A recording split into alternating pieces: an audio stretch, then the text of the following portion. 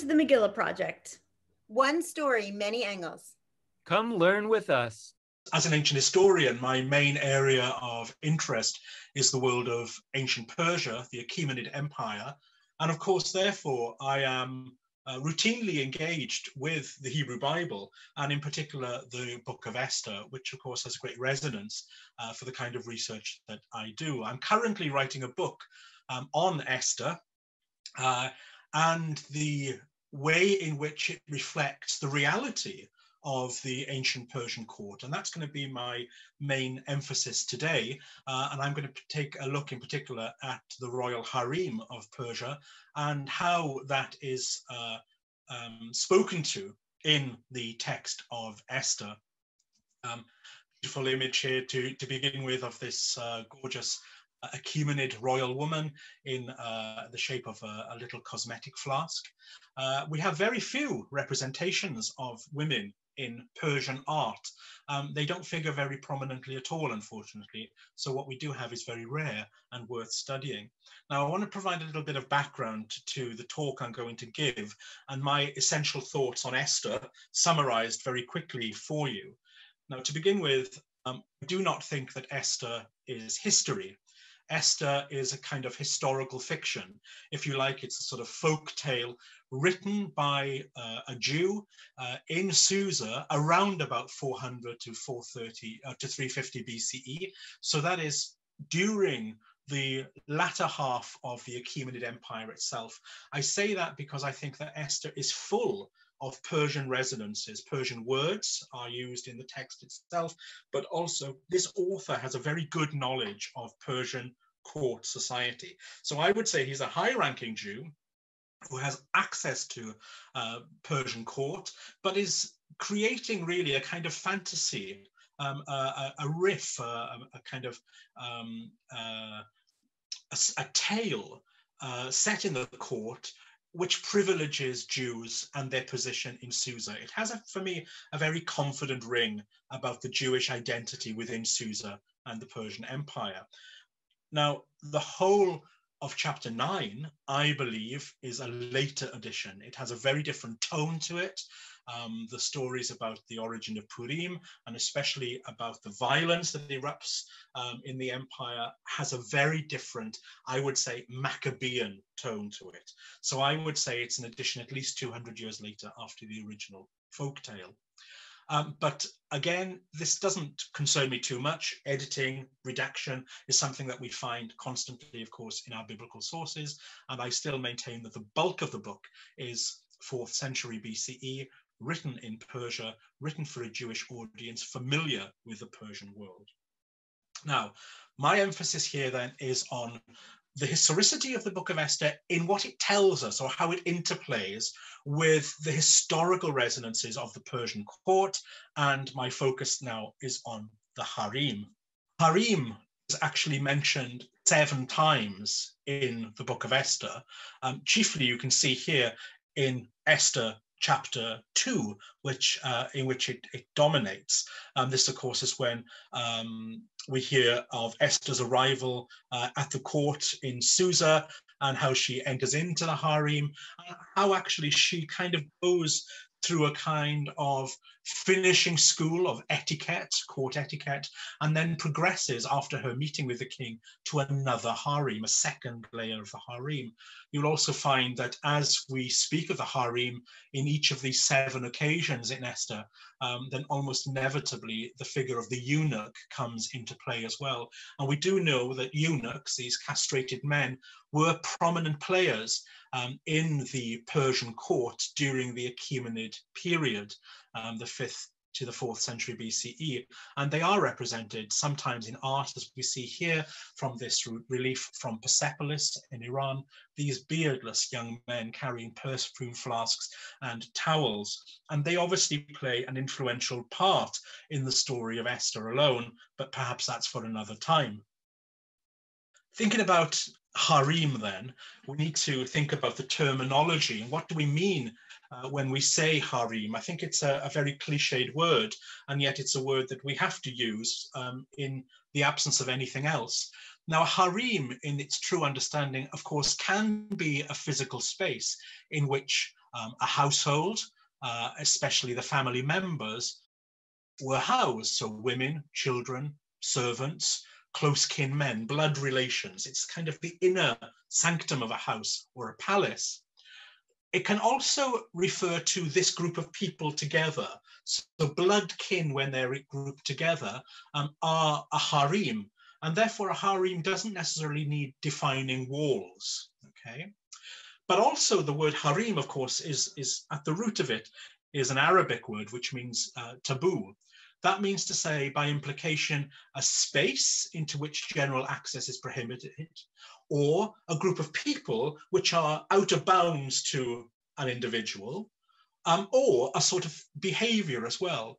Fatima Mernissi, who is a, a wonderful um, anthropologist and sociologist of the Arab world, speaks of a concept of the harem of the mind, that is to say, a kind of code of behavior um, which makes you behave in a certain way, um, not um, getting involved with people that you don't know, not speaking to women who are not part of your family, not um, inviting men into the home if they're not belonging to you. So a harem of the mind. Now, in the ancient world, we have lots of words which seem to suggest harem. And interestingly, all of them are kind of spatially aware. So in Assyria, for instance, the Akkadian word bitat or bitsenashati means the interior or the woman's house or the enclosure. And interestingly, in Hebrew, the chief word that we have in the Hebrew Bible is uh, penima, which means the inside. We don't know what the ancient Persians used for their word for harem, but it must be something similar as well. Interior, place of seclusion, place that is taken away we need to blow a few myths out of the water before we continue. The first of all is this. The royal women of ancient Persia did not live in a kind of Islamic style purdah. They were not hidden away from people. They were not denied access or denied um, uh, power so we shouldn't think of them like the women of Mughal India or Qajar Persia or the Ottoman Empire. And we certainly must not think of the Persian harem as a kind of Hollywood Orientalist fantasy, you know, the kind of kismet effect, right? We need to put that out of our minds entirely. The harem, as far as the ancient Persians were concerned, was a highly organized, hierarchical structure which operated around the figure of the great king. In this case, of course, uh, Xerxes, uh, uh, Ahasuerus. The women of the harem were carefully guarded for their chastity, but that does not mean that these women were dislocated from interaction with other parts of society, or that they lacked any freedoms or indeed autonomy. They could have their own estates. We know that this is the fact. They could own their own wealth. We have evidence in plenty, in fact, uh, from uh, Persian sources for this too. One thing that really operates in the concept of harem the idea of visibility. Now, in our world, our media mad world, we have this idea that to be famous, to be rich, to be wealthy, to be powerful, you have to be visible, you have to be seen. This is co- totally contrasting to the idea of power and prestige in the ancient Persian world. For members of the royal family, especially the royal women of the Persian household, invisibility was key to their prowess. To be kept separated from the public gaze meant that you had honor, prestige, and status. There was no honor in being seen routinely by the common people. Invisibility did not equate to lack of freedom or to a lack of power or wealth. And I think this really helps explain the core story at the beginning of Esther, when the king calls Queen Vashti to his drunken banquet in order to in order to show her to his people, his visitors, his guests, Vashti refuses. And she refuses because her honor is at stake. And what this is saying at the beginning of the book is that Xerxes is a dreadful king. He should never be asking his wife to display herself in this kind of way. The code of harem pr- prohibits that. So Xerxes is out of order. He's breaking all the all the expected norms, and his followers merely pay lip service to him. And they say, yes, of course you should appear because you've commanded it. But really, in a civilized court society, he is acting uh, grotesquely. So my central argument about the, the role of the harem in Persia, which we can see in Esther, is that the harem had a profound political importance. The shenanigans between Esther, Mordecai, and Haman are a kind of folk motif version of the kind of political machinations that the harem encountered in the reality of Persian society.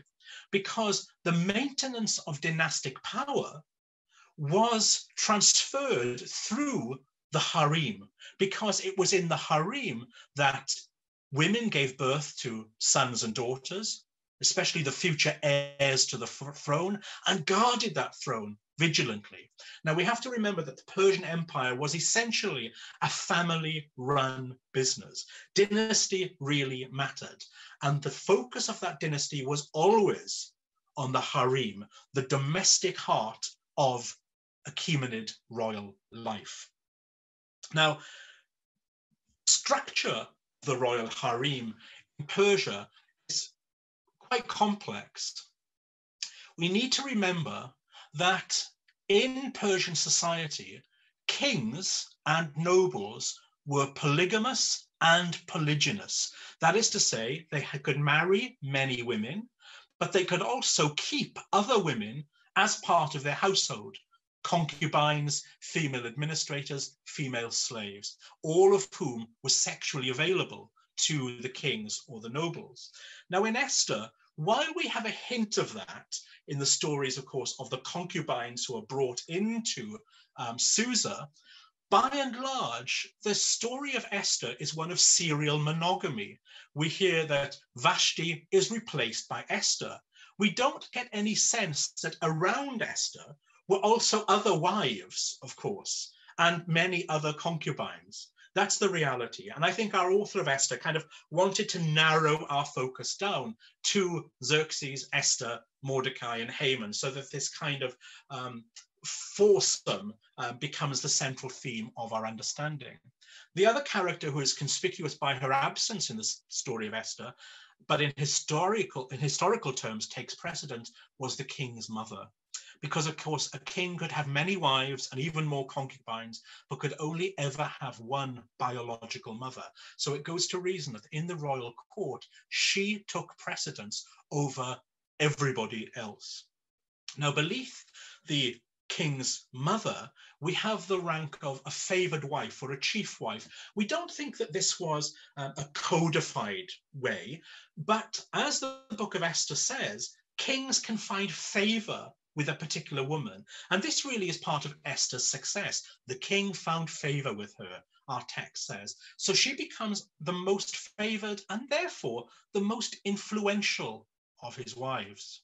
Of course, within the harem, there were also other women, daughters, royal sisters. These all made a part of the royal harem too.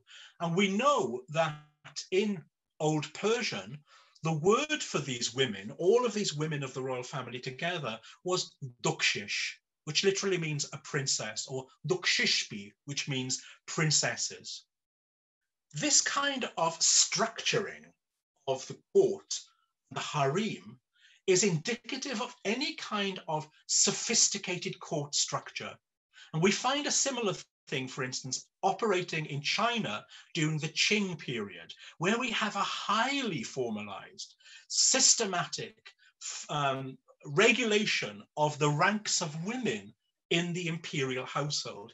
We find exactly the same thing going on in Neo Assyria, um, Old Kingdom and New Kingdom Egypt, in Han China, and in any sophisticated court society, of which, of course, Persia was most certainly to be included.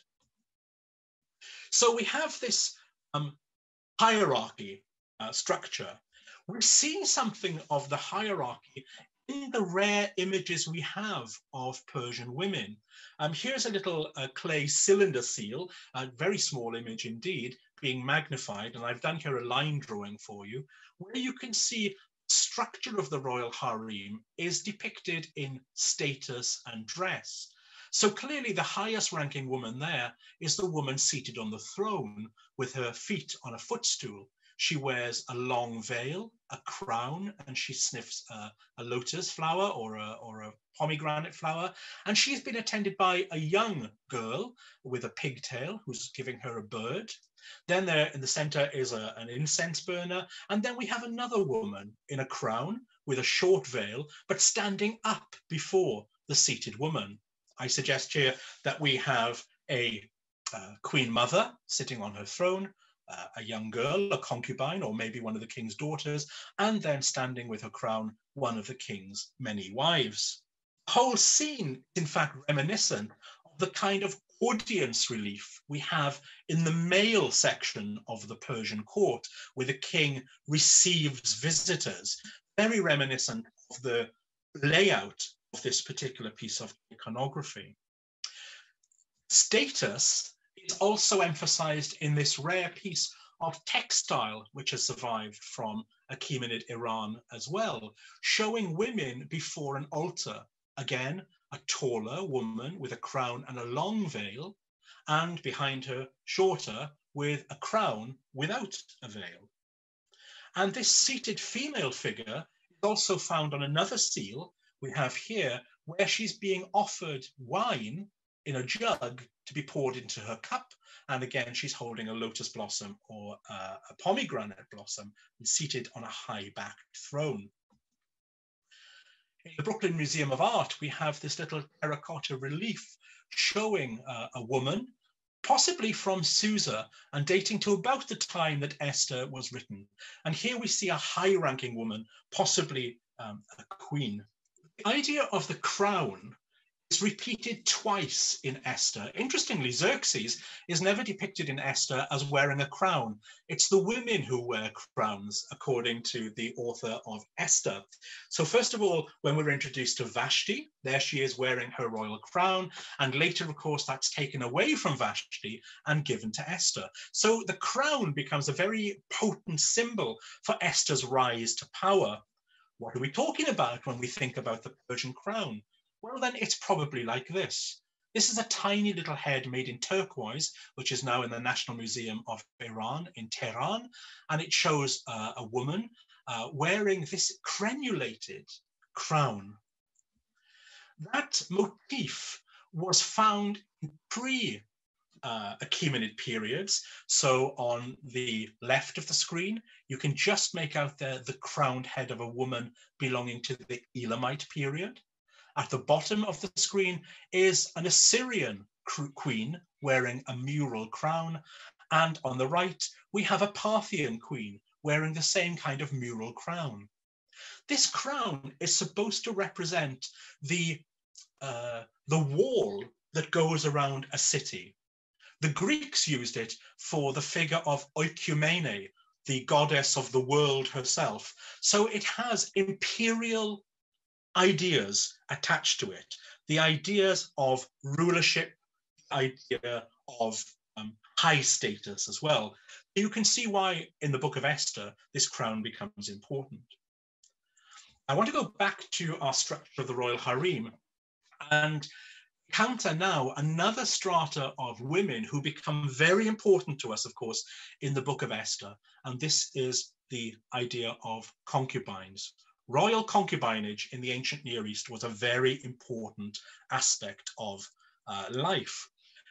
Now, kings in the ancient Near East collected women on a large scale. Sociologists have called this Darwinian style polygyny, because if you think about in the wild, um, for instance, a, a lion will group around him many lionesses with which he will mate.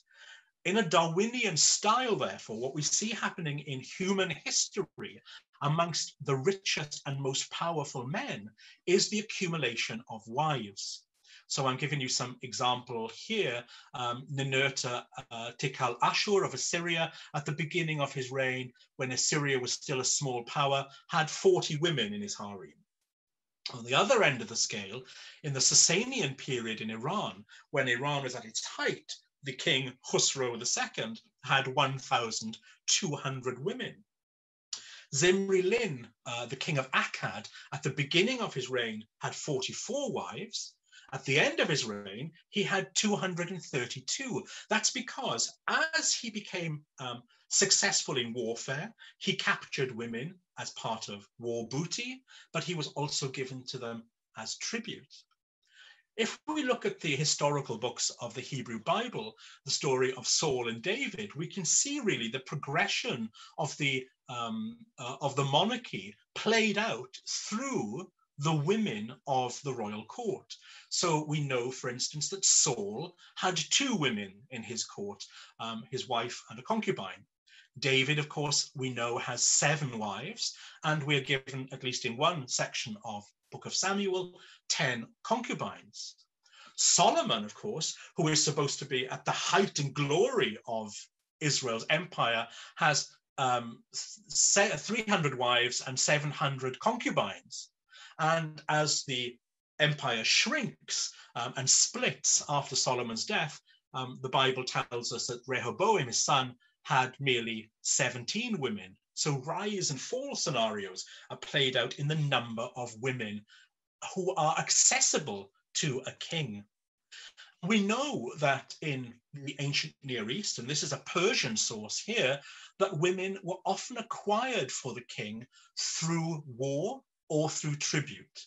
So here we have uh, a scene here where Artaxerxes III conquers the city of Sidon in modern day Lebanon and takes the prisoners, amongst the prisoners, the women who are sent to enter the palace of the king. Now, not all of these women became um, concubines, many of them would just have been slaves and administrators, but the lucky women, the beautiful ones, the ones who could be trained up, became concubine. The other um, way in which kings could select women for their harem was through a selection process. And of course, in Esther chapter 2, we have this idea that a search goes out for young virgins across the empire who are brought back to Susa. Now, this might sound like something out of the Arabian Nights, but actually, it's a well attested practice in the ancient world and beyond.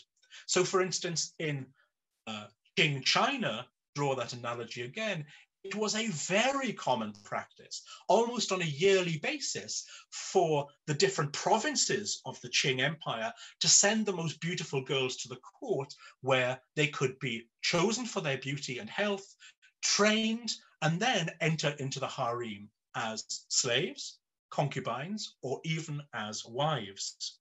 You'll also see in the book of Esther there were strata, levels of the royal harem as well. When Esther goes to see the king, she doesn't return to her old harem. She advances in the court and goes to a second harem. So it would seem to me that the harem in the book of Esther reflects very accurately the, the hierarchical structure, the very strict codification of um, gender um, interaction that we have in the Achaemenid world proper. As to the number of concubines within the Persian court, well, we don't really have much of a, of a clue. Um, we are reliant on the whole on Greek and Latin sources. Um, so, for instance, Herodotus says that the concubines who accompanied the king were too numerous to count. Uh, Dicaearchus says that there were 360 concubines at the Persian court, one almost for every day of the year. And that's agreed upon by Diodorus Siculus as well. Perhaps more accurate is the fact that we know when Alexander the Great conquered Iran and took the royal household after the Battle of Issus, included amongst the booty were 329 concubines, which of course became his. And Plutarch says that the guarding of concubines and the preservation of their chastity was very, very closely done amongst the Persians, merely approaching and touching a royal concubine, he says, could lead to the death penalty. Why so many women? Why do kings need this amount of women? Well, of course, it's to do with the fact that the kings need to reproduce. The hierarchy ensures that the queen or the married women are the highest ranking women in the court. And uh, one Greek text tells us that queens were treated with great reverence by the concubines who bowed to them. But concubines were chiefly used for sex, not sex purely for pleasure. Sex for the Achaemenid king, like any absolute monarch in a hereditary dynasty, was never just about pleasure. Because sexual congress had political consequences. The birth of heirs really mattered. When several women in the royal harem had children, had sons, they of course became competitive amongst themselves because they wanted to push their sons to the order of succession. They wanted to promote their sons as the next king, as the heir apparent. So, what happened in the bedrooms of kings, queens, and concubines had huge effects on the um, trajectory of the empire itself. But through sex and the propagation of many children, the king trade his power. Here is the Sultan uh, uh, from Africa in the Cameroon from the 1890s, and he chooses to have himself photographed here with all of the children that he has borne on his wives and his concubines. It resonates, of course, power. Now, one thing I want to show is that historically speaking, concubines were not defunct women. They had opportunities to rise through the ranks of the harem. And we know that Xerxes' son, Artaxerxes I, was married and had a legitimate heir, but also he had many concubines. And some of these gave birth to children, one of whom, uh, you can see her name is uh, Cosmartidene, gave birth to Darius II. In other words, it means the role of a concubine could suddenly change. And a concubine can go from one of the lower positions in a harem to a position of high responsibility. She could become, in fact, the king's mother. Interestingly, our story of Esther doesn't tell us anything about Esther's fertility or whether she gives Xerxes um, a child at all, although in later Persian and Jewish um, folklore, um, she does indeed. But I hope what you've seen here is the idea that the book of Esther does encode within it some really interesting factual ideas about the Persian harem, and that Esther is not at all separated from the historical process. Esther may not be history, but it reflects very clearly the reality of Persian court life.